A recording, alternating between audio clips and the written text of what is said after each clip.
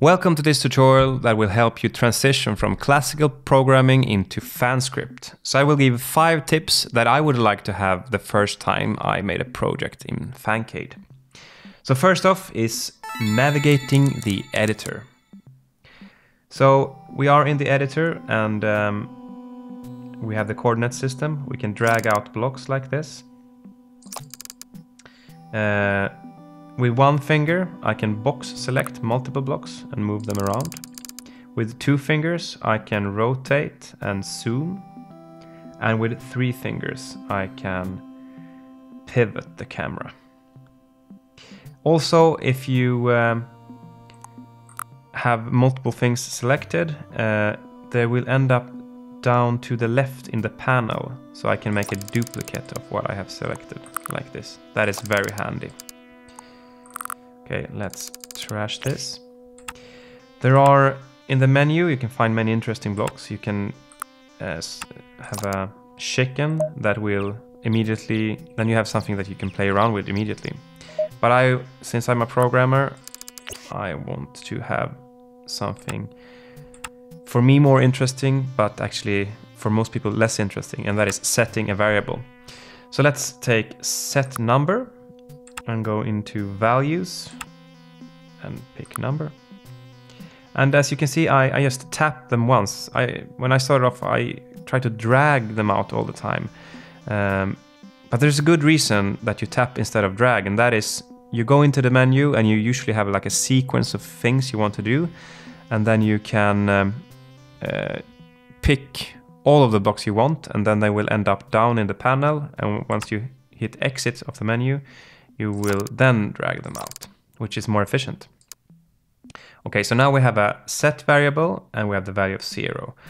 We want to change that. So if I pick the value, then down here I have the option to change it. So let's pick six and num, I want to call it x.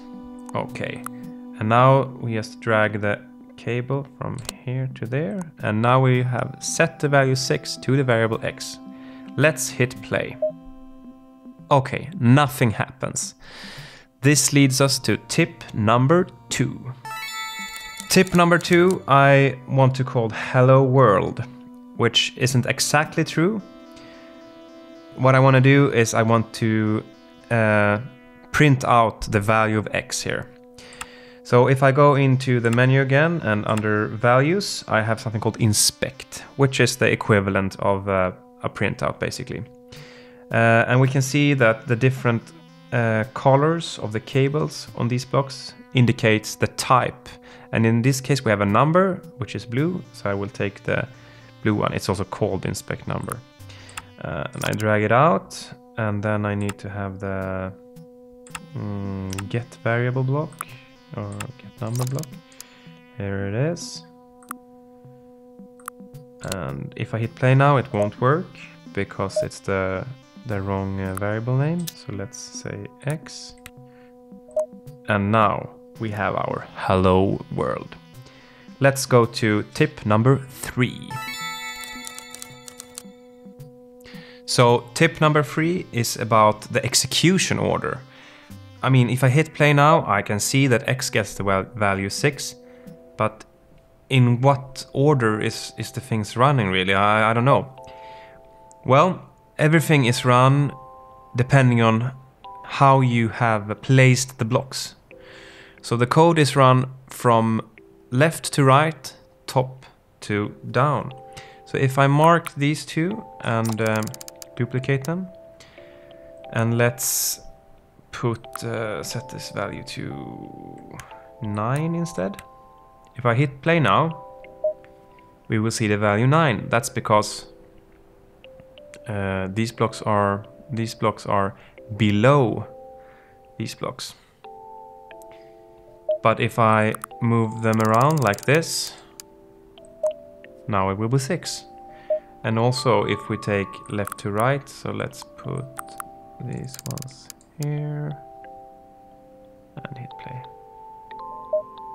Now we have 9 again. I also want to mention that this is also not run only once, but once every frame, and the, it's 60 frames a second, so 60 times every second. And I want to skip ahead to show an example of that.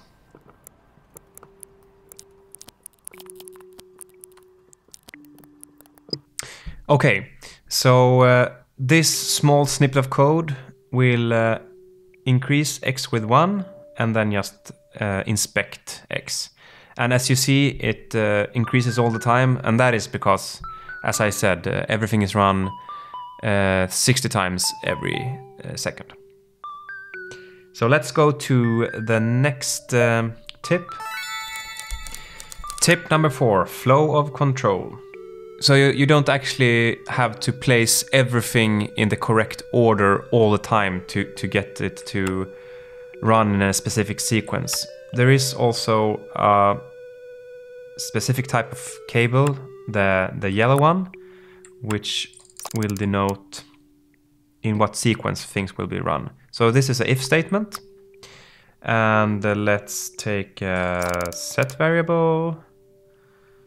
Uh, and uh, oh no, that's not what I want. Let's remove that one and take a value and set a value of say six. And then on the set variable, we have a before and after. And on the if block, we have um, uh, true, false, and, and before and after. So let's pick the true one and pick two and, and connect it to the before on num. So this means that uh, if the if statement is true, then it will set the variable num to 6. So if we just inspect this num and pick the values true and false, close.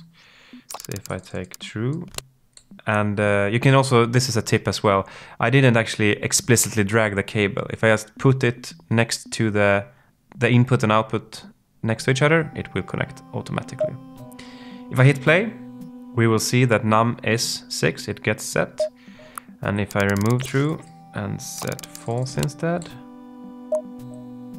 it will be null. I can also mention that there are other blocks uh, as the if block. For instance, we have the play sensor, which um,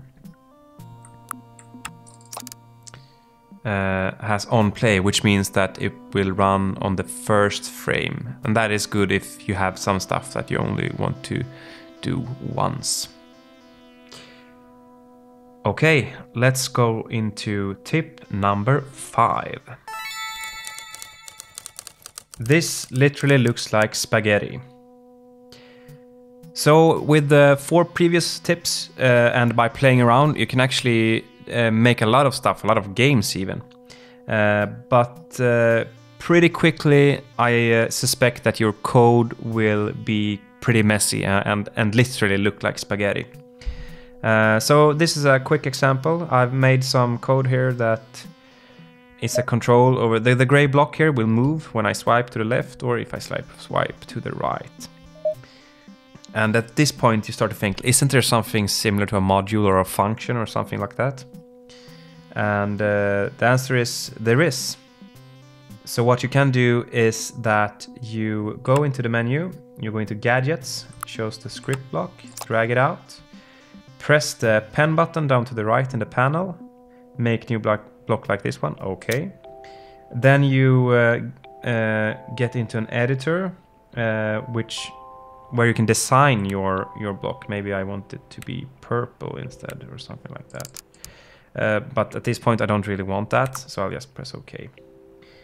Um, and then next to the pen button, there's a new button. Let's press that one this button opens up the block so that you can put stuff inside it. So let's uh, select the code here and put it inside and close the box. If we hit play now, won't work. If I swipe, nothing happens.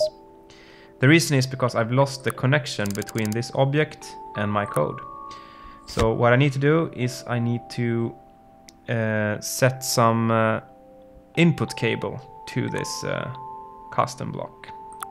So let's drag this one here and oh, one more time. Like that. So if I close this one down and connect it to the gray box, now it works. And it looks a lot cleaner. Although, of course, inside the block, it's still pretty messy. And I could, I could tidy up stuff here quite a lot. I mean, just arranging the blocks in a more logical way would help. I mean, already now it's better, but of course uh, you could do it even nicer. But that's for the, for another time. Uh, that's it. Uh, that's my five tips uh, with things that I struggled a little bit with the first time I made a project in Fancade, and I hope it will help you. And uh, I wish you all of luck uh, creating and building games with Fancade.